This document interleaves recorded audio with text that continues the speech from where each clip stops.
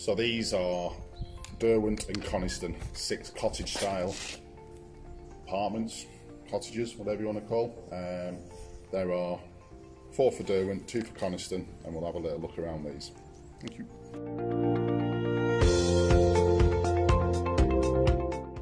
This is number one, Coniston, 1,039 square feet, three bedrooms, two bath, just £220,000. Let's have a look around.